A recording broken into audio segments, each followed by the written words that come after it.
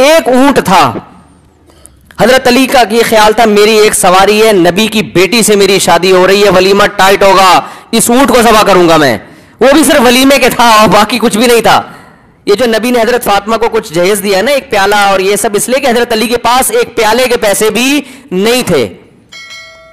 हज़रत अली ने सोचा, नबी की बेटी से निकाह हो रहा है, वलीमा तो हो ना, हज़रत हमजा ने वो ओट जमा करके दोस्तों को खिला दिया। अरब में सखावत थी ना तो वहाँ कुछ उनके ख़ानदान की खातन थी। उन्होंने हज़रत हमजा को ताना दिया कि इतना बड़ा ऊँट आपके सामने खड़ा हुआ है और आपकी सखावत को गोया चैलेंज है ये। अरब थे बड़े सखी। हज़रत हमजा ये भूल गए कि ये मेरा नहीं है, ये किसका है? ये तो हज़रत अली का है। उन्होंने कहा, भाई, ये वो अरब थे, सखावत थे ना उन लोगों में। कोई सखावत का ताना दे जोश में, हमारे यहाँ तो ताने दे दे के मार दो कम की जेब से पैसे, नहीं निकलेंगे। तो कहेगा यही तो है। बारात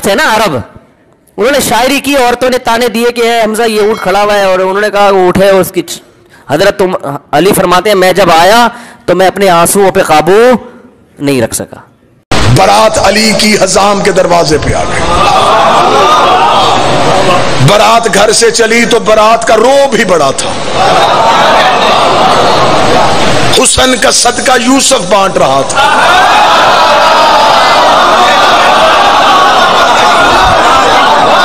बारात के रस्ते में पानी छिड़काने का बंदोबस्त उसे दिया, जिसके कदमों से अल्लाह ने जमजम को निकाला था।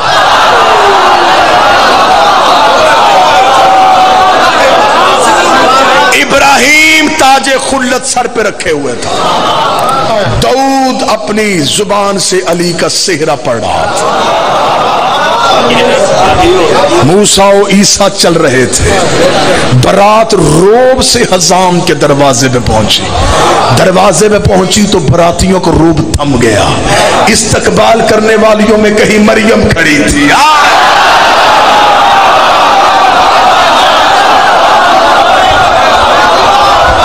कहीं हवा खड़ी थी। कहीं सारा खड़ी थी। खुद अली ने अपना निकाह खुद पढ़ा।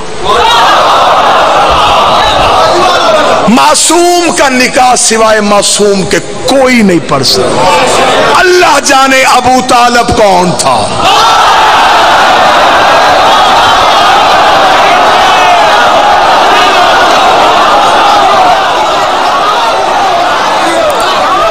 जिसने मेरे मुस्तफ़ा के होते हुए मेरे मुस्तफ़ा का निकाह पढ़ दिया। सुन्नी किताबें तारीख तिबरी, सीरत हशाम सीरत हलबिया ईमान अबू तालब, सात छोटी किताबें ज़्यादा। अबू तालब ने नबी के खुतबा निकाह के मौके पर मिन ज़ुर्रियत व नस्ल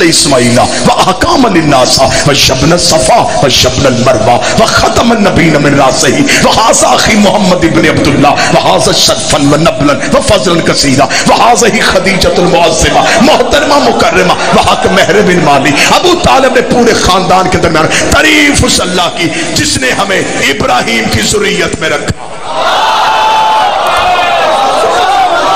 जिसने हमें नस्ल इस्माइल बनाया। जिसने हमारे सरों पे ताज नबूवत को सजाया। ये मेरे बड़े भाई अब्दुल्ला का बेटा मोहम्मद है। पूरे अरब में इससे शरीफ कोई नहीं। पूरे अरब में इसकी फजीलत का सानी कोई नहीं। मैं इसे साथ लेके तुम्हारे कबीले की बाइज्जत मुअज्जमा मस्तूर खदीजा से इसका निकाह पढ़ने के लिए आया। ये कहने के बाद खानदान खदीजा को देखा, जिनके नौकरों के कमरों में सोने की पेटियाँ थी। ईरानी कलीन बचे हुए थे। अबू तालब उठे, अपनी हल अता वाली चादर को अपने सानू पे लिया और लेके कहने लगे ए खानदान खदीजा, हक मेहर तुम बताओ, रकम मैं देता हूँ।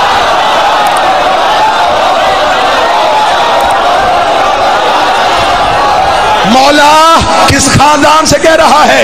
इनके ईरानी कलीन इनके रेशमो दीवा के पर्दे, इनकी अस्सी हज़ार ऊँट तजारत करे। तूने कहा, जो मांगे, जमीनें मांगी कहाँ से देगा? आसमान मांग लिए कहाँ से देगा? अब उतर का गुस्ताख न बन। अल्लाह ने कायनात में वो चीज़ पैदा ही नहीं की, जिसमें मेरे अली की हुकूमत रहा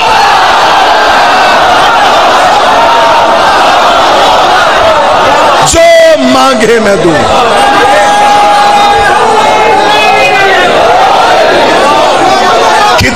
हक मेहर दिया, सात सौ मिसकाल चांदी।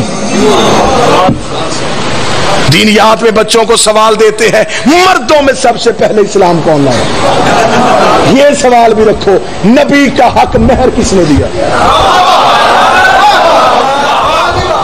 सही बुखारी का हवाला, सात सौ मिसकाल चांदी।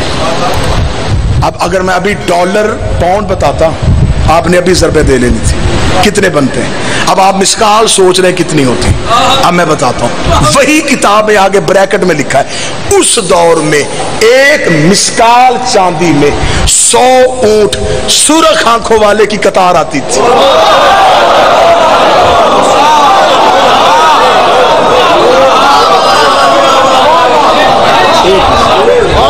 अबू तालब दिया सात सौ। अरबों को अभी तक सौ ऊँट नहीं मिला। ये वही ऊँट थे जो नबी की वसीयत के मुताबिक हसन ने ज़मीन से निकाले थे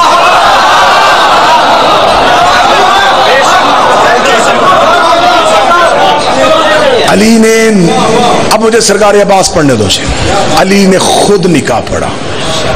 उम्मल बनीन की डोली दहलीज अमीर पे पहुँचे। किसी बंदे ने सवाल किया ना, गाजी मासूम है कि नहीं? कलेजा संभाल, मैं तुझे गाजी सुनाऊ ये कैसे दुनिया में आते हैं? बीबी जनाब सैयदा की दहलीज पे आई। शहजादी ने पाँव नहीं रखा। सर सजदे में रखा। पेशानी टेकी। रुखसार बीबी की दहलीज से मस की। शहजादी के घर में करीज भर के मुसाहब नहीं फजाए। चली गई बीबी। बीबी कहती है, जिस रात गाजी ने दुनिया में आना था मेरे यहाँ विलादत के कोई आसार नहीं थे। बीबी कहती, मुझे अमीर मोमिनीन ने कहा, फातिमा, आज हुजरे में रहना। मैं तुम्हें मुसल्ले की कुछ ताकीबात बताऊँगा। तूने आज सब इबादत में गुजारनी। बीबी कहती, मैं मुसल्ले में अली की दी हुई ताकीबात पढ़ती रही। आधी रात के वक्त अली मेरे हुजरे के बाहर आके बैठे। आवाज़ देकर, फातिमा जो तस्वीर मैं अब तुम्हें बताऊँ, इस इसम को पढ़ना शुरू कर।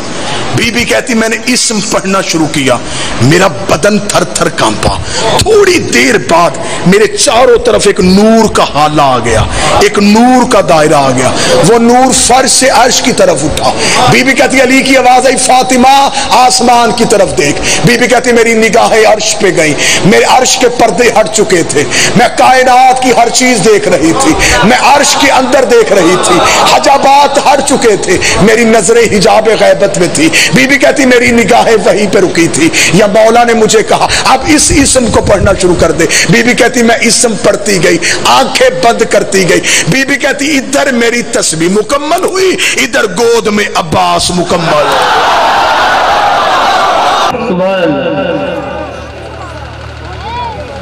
दो महीने की कटी हुई आवाज़ है लेकिन मुझसे पाक का ये सरदार। तो इस वक्त इतनी आवाज़ उठ। रही है। शेर फिर पशु को यतीमों को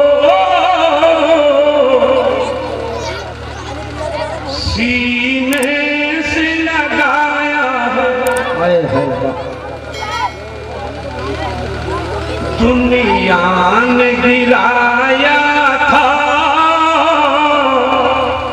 आका उठाया है। सुभान अल्लाह सुभान अल्लाह जरा हाँ, नारे तकबीर नारे रिसालत मसल के आला हज़रत फैजाने आला हज़रत जश्न गौफुल बरा फैजाने औलिया इकराम हज़रत गुलाम नबी रामपुरी सरजमीन मंडवा हसनपुर